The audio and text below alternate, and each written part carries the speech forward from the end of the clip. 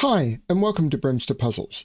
In the past on this channel, I have covered several puzzles from the World Puzzle Federation in 2014 and some of the early 2015 puzzles, where I've picked one puzzle from the pack and cut featured that. I was looking at the puzzles from round three of 2015, and I couldn't pick a puzzle to do. They all looked so good. So what I've decided to try is to record all of the puzzles and release them as a series and see how that goes on the channel and see if people like it. So I'm starting with the first classic Sudoku in the series, which is just classic Sudoku 1. It's what it's called in the pack.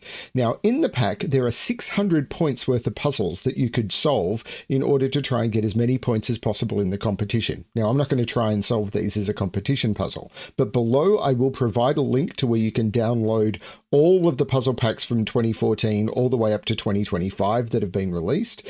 Um, and I will um, provide, of course, a link to this puzzle. Um, I'll also provide a link to a playlist where these puzzles will eventually all appear.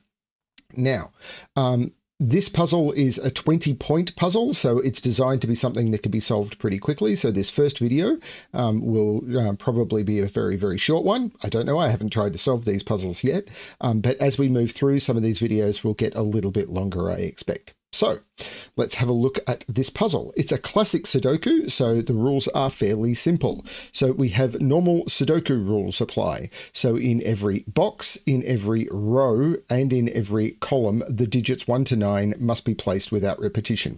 They're the rules of the puzzle. Before I get on to solving, I do just want to quickly mention that, as I said, this is a 20 point puzzle, and it was provided that um, while these puzzles were all created by Indian setters, this was um, hosted by India, or the, the competition was. This puzzle specifically was set by Swaroop Guggilam. Um, I've probably pronounced that correctly, incorrectly, and I apologize for that. So thank you, Swaroop, for this puzzle, and I will try and provide that for as many of these going forward as I can. So let's restart uh, my timer to rest, uh, restart the puzzle to restart my timer. Not that I'm going to worry about time. Let's give this a shot. So when solving a classic Sudoku, and I'm going to go through some basic techniques, the first thing you probably want to look for is digits that you can place quite quickly. So in this box, we have yet to place an 8, but these 8s are looking into the box. So we can't put 8 in any of those cells, and these cells are already full. So we can place an 8 um, maybe I can keep looking for more eights. Now I can see that this eight is eliminating eights from all of those, and this eight is eliminating eights from all of those. So that means eight in box five is restricted to only two cells. And when a digit is restricted to only two cells in a three by three region or a three by three box or a nine cell region often, um, then what you will often want to do is mark it with corner pencil marks. Um, this is called Snyder notation. And the reason you want to do that, hopefully it'll come up later is if you manage to place a digit in one of those two cells, then you immediately know that the other cell has to be the 8 um, without having to discover it again because we know that 8 is in one of those two cells. So that's what corner marks are useful for in classic Sudoku. So we can see now that 9 can't be in any of those or any of those. So we can pencil mark 9 into one of those two cells. Now that means 9 is pointing into this row and therefore 9 can't go in any of these cells because if 9 went into any of these cells, particularly these two cells, then that would mean that we couldn't place 9 at all in box 3. So 9 has to be in one of these three cells. This 9 is looking up and we can pencil mark 9 into those two cells. Now, do we have anything? Oh, we've got the same thing with eights happening down here. Eight can't go in any of those. So this becomes an eight, and then I can pencil mark eight in those two cells. Now we've got an interesting question we can ask ourselves because eight can't go here because of this eight. 8 can't go in either of these two cells because of those two. So 8 in this row has to go into box 6. But these two 8s are also looking down, which means this has to be the 8. Okay, so if I placed all of, the, no, I've got eight down to just these left. And as soon as I place one of them, it's going to force the other one to be placed. So, ah, but one is now looking across and I can see that one can't go in any of those cells. This one is looking down, seeing this. I could have placed this straight away, but I didn't. Now, these two ones are looking up, eliminating ones from all of those, and one has to go in one of those two cells.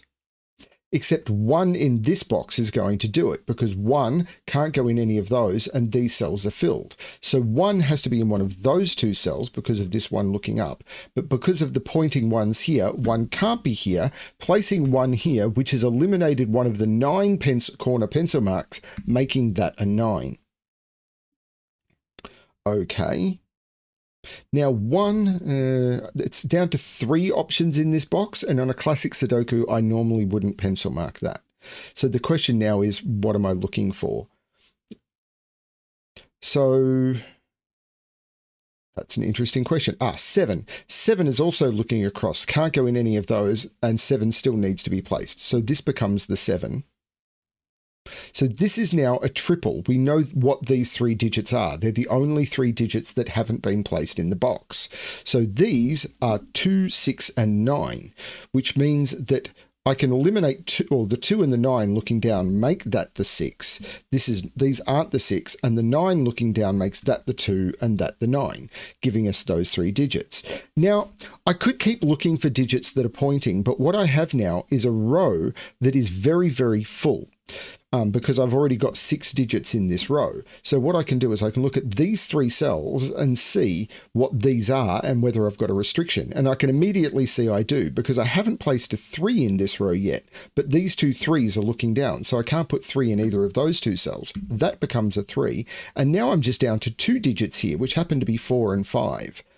Can't see how to resolve those yet, but it will come up. I'm hoping.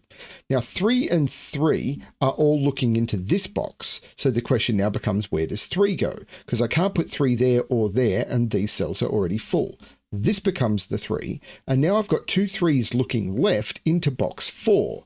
Um, the boxes by the box numbers, by the way, we normally call them as box one, box two, box three, box four, box five, box six, box seven, box eight, and box nine. So box three is look. Uh, this three is looking across, and this three is looking across, and this three is looking up. So three must get placed here. And now I've got the same thing happening here. I've got six digits already placed. So the digits I haven't placed are 2, 6, and 7. So six can't go here. So this, well, actually, let's start with two because two can't go in any of those. So this is the two, and this becomes a six, seven pair. And with the six and the seven, I've got a six looking across, making that the seven and that the six. Now, this is becoming a slower solve because I'm trying to explain what I'm seeing, but I think that's more important to my viewers. And if you're not needing the explanation, you're just solving the puzzle. One, two, three. These are four, five, and eight. Now, we've already got the pencil mark saying that an eight can't be there, so I can remove that. But these five is looking across, taking five out of both of those. So this becomes the four because it can't be the five or the eight. This becomes the four, which takes four out of both of those. And I, I could have just written these in, but I wanted to demonstrate that now these are all even more restricted. This has to be the eight, and now this can't be the eight. So what's left? It has to be the five. The 8 looks across saying that's not the 8, that's the 8, and these pencil marks have resolved. Now I can see row 4 is very restricted, only able to be 1, 2, and 9. Well, I can't put 9 in either of those cells, there's already a 9 in the box. So this becomes the 9, and this becomes a 1, 2. Now I can't see how to resolve the 1, 2, but where my attention is drawn is into box 6, where I've only got three digits to place, one of which is a 2, and I can't put 2 into either of those cells. So that becomes the 2, and these become a 1 and a 4, and the 1 is looking across making making that the 4 and that the 1. Now these become way more restricted. Now there's uh, four digits to place in the box, but each row only needs two. So these two digits must be 4 and 6. So these two digits now can't be 1, 2, 3, 4. They can be 5, can't be 6. So these become 5 and 7. Now I'm not seeing how to resolve those yet, but again, it'll come up. I've got the same thing happening here. While there's four digits that I could uh, haven't placed in box one, if I look at column one, I'm only missing two, which are three and five, and I've got a three looking across, making that the five and that the three. Now in this box, I'm only missing two digits, which seem to be four and seven. Again, I can't see how to resolve those yet. But this is now a triple because I've got three digits in, I've got six digits placed. So I haven't placed two, six, and seven.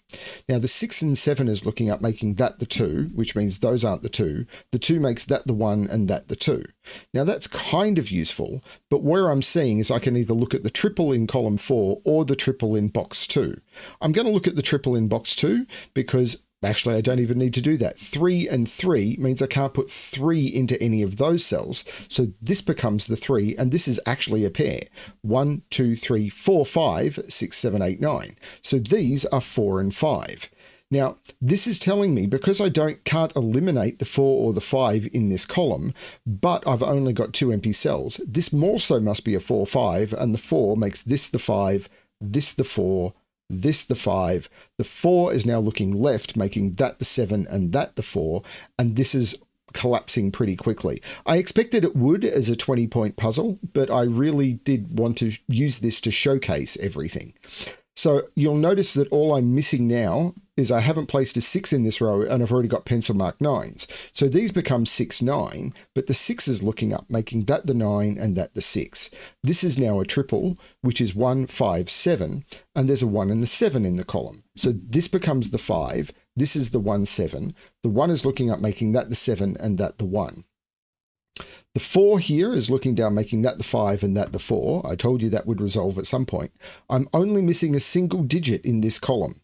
Some people call this an I-wing. One, two, three, four, five. I haven't placed a 6 because I've got a 7, 8, 9. So that must be the 6. Now, again, I'm just missing pairs in these columns. These are, I think it's 2 and 4. The 4 is looking across, making that the 2 and that the 4. I now have 1, 2, 3, 4, 5, 6 and 8. So these are 7 and 9. The 7 is looking across, making that the 9 and that the 7.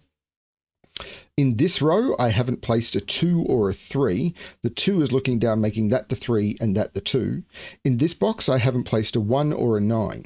The 1 is looking down. I also could use the 9 looking down, but doesn't matter which one I use to resolve them. Then the 4 is looking up, making that the 6 and that the 4. The 6 is looking up, making that the 7 and that the 6. The 7 is looking down, making that the 5 and that the 7. And that is the correct solution to the puzzle. Now, I did like this puzzle. Now, as I said, we're starting gently because I'm starting with the 20 point puzzle because that's the way they were presented in the pack. The puzzles in the pack do go up to a puzzle's worth 100 points, and the first six puzzles will be classic Sudoku, um, including one that I think is worth 60 points. I'll have to, we'll get, we'll find out when we get to it. So it'll be significantly trickier than this.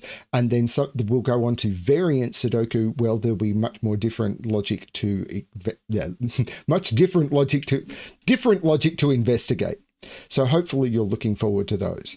So I'm not sure how I'm going to release these yet. I'm just recording them and then I'll figure out those plans, but hopefully you'll enjoy the puzzles. Thanks everyone for watching, and as always, good luck with your solving.